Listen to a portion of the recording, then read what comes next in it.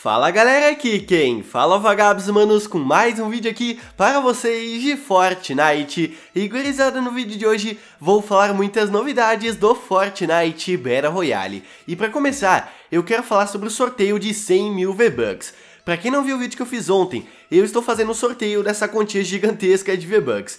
Se você quiser saber mais detalhes desse sorteio e também como participar, confere o vídeo que eu fiz ontem aqui no canal, mas de qualquer forma, vou deixar o link aqui na descrição do vídeo, beleza? E bom, manos, pra começar, eu quero falar sobre a atualização dessa semana. Ela foi anunciada agora há pouco lá no Twitter do Fortnite. Olhem só o que eles falaram. Acerte no alvo. A manutenção para o patch 8.4 começa amanhã, 17 de abril, às 6 horas da manhã, no horário de Brasília. Então, como sempre, amanhã de manhã logo cedo fiquem ligados aqui no canal, porque estarei trazendo todas as novidades o mais rápido possível aqui pra vocês, ok? E manos, outro assunto é sobre o modo da manopla do infinito. Todo mundo sabe que no final desse mês será lançado o filme Vingadores Ultimato, e no ano passado, com a estreia do filme Vingadores Guerra Infinita, foi lançado no Fortnite o modo da manopla do infinito. Então é bem provável que nesse ano, nesse mês, na verdade, no final dele, irá retornar esse modo em que você se transformava no Thanos. Mas não é só isso. Recentemente,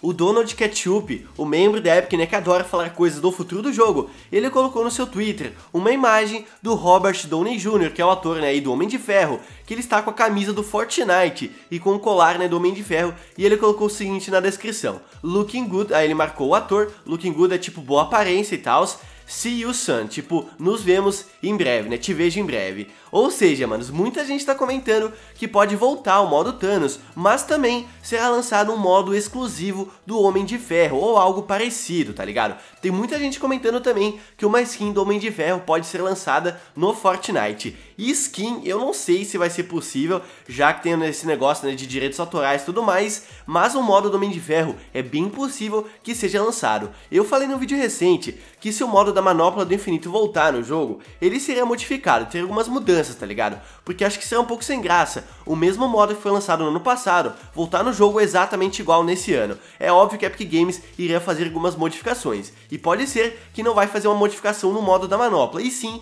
lançar outro modo exclusivo do Homem de Ferro. Porque, claro, manos, ele não publicou isso aqui por nada. O Donald Ketchup adora, né, colocar coisas aí, spoilers do futuro do Fortnite. Então deixe embaixo nos comentários o que você acha que vai acontecer no final desse mês ou no início do mês de maio. Que vai voltar o modo da Manopla Infinito ou vai chegar também no jogo o modo aí do Homem de Ferro ou até mesmo uma skin do personagem. Eu quero saber as opiniões de todos vocês. Mas bom, rapaziada, vocês estão ligados que nesse último final de semana aconteceu o torneio online do modo solo na Copa do Mundo do Fortnite. No vídeo de ontem eu falei mais detalhes sobre esse torneio, a classificação e tudo mais, e até falei né, sobre um hacker e um pro player que usou hack nesse torneio, um negócio inacreditável. Mas enfim, agora eu quero falar uma novidade bem legal que a Epic Games fez nesse último torneio online. Olhem só o que o membro da Epic Games colocou lá no Reddit. E aí pessoal, como na semana passada, gostaríamos de compartilhar todos os replays desse torneio para testes mais amplos do nosso sistema de espectador que está em andamento.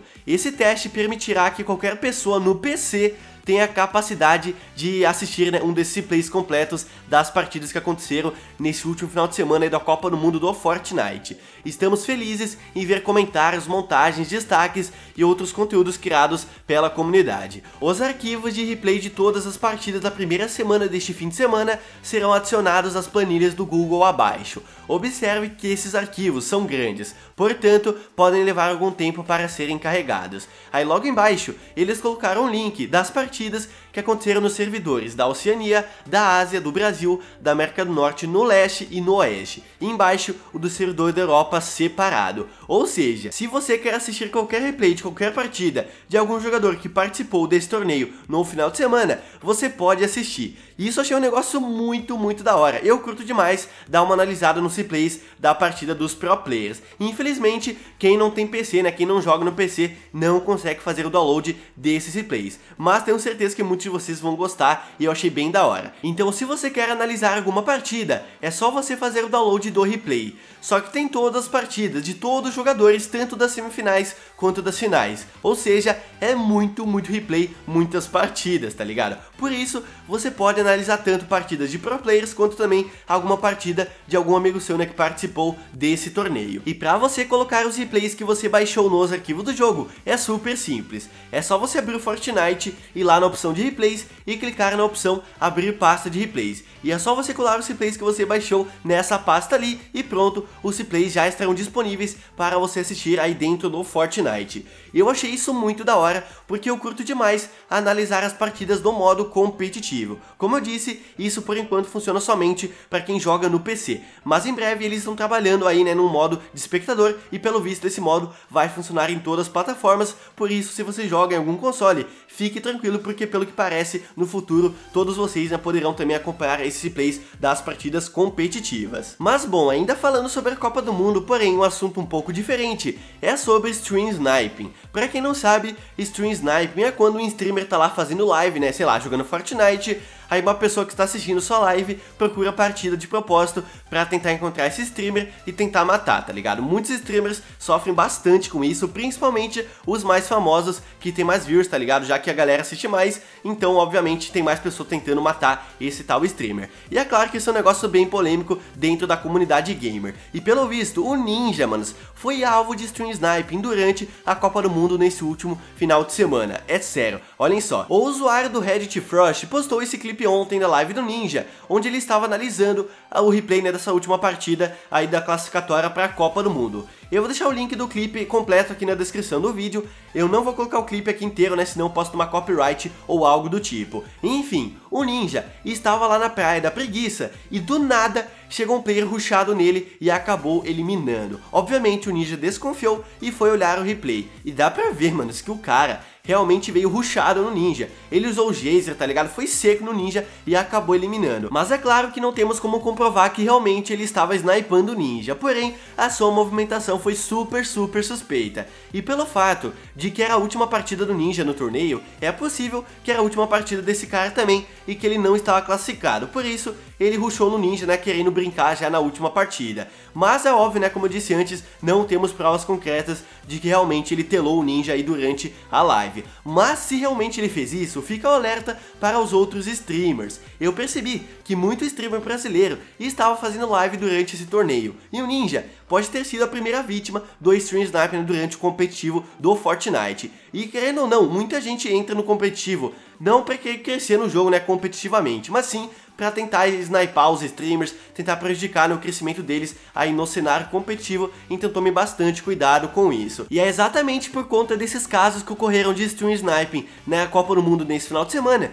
que a Epic Games vai adicionar uma nova função para quem joga no modo stream, né, no modo anônimo. Os leakers encontraram hoje de tarde essa nova função nos arquivos do jogo e diz o seguinte: ela altera seu loadout cosmético que aparecerá para os oponentes durante uma partida. Você ainda aparecerá com sua roupa selecionada para si mesmo e para os colegas de equipe. Ou seja, se essa função realmente for lançada no jogo, o pessoal que habilitar ela vai ter outra skin na visão dos oponentes. Então você tá lá jogando uma partida usando a skin da jogadora de futebol. O seu oponente não vai enxergar essa skin, vai enxergar outra skin, tá ligado? Somente os membros do seu esquadrão vão enxergar você com a skin correta. Isso vai ajudar demais contra o stream sniping. Hoje em dia, mesmo com o modo anônimo ativado, a galera que streama, né, sofre demais com o stream sniping. E se essa função fosse lançada, isso ajudar demais, né, contra esse tipo de abuso. Mas é claro, nada disso foi confirmado pela Epic Games, tá? Apenas foi encontrado nos arquivos do jogo. Se tiver outra informação sobre isso, eu vou trazer aqui no canal para vocês. E por fim, gurizada, o último assunto que eu separei no vídeo de hoje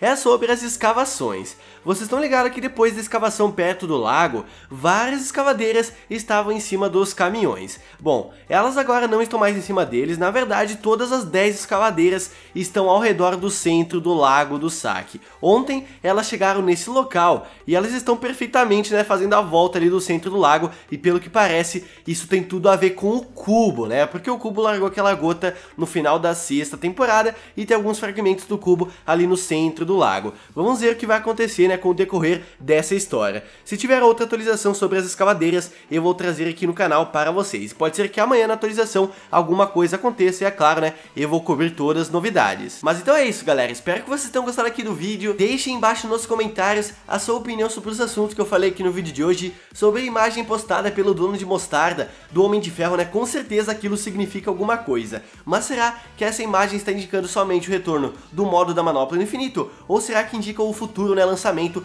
do modo, né, do Homem de Ferro ou até mesmo uma skin desse personagem? Enfim, eu quero saber as teorias de vocês. E se você gostou do vídeo, deixa o like porque não custa nada e vai estar tá me ajudando demais. E mande esse vídeo para seus amigos para eles ficarem sabendo de todas essas notícias e novidades e também para eles ficarem ligados aqui no canal amanhã logo cedo estarei trazendo todas as novidades da nova atualização. Então é isso galera, aquele abraço, se vemos no próximo vídeo, valeu, falou, se eu fui!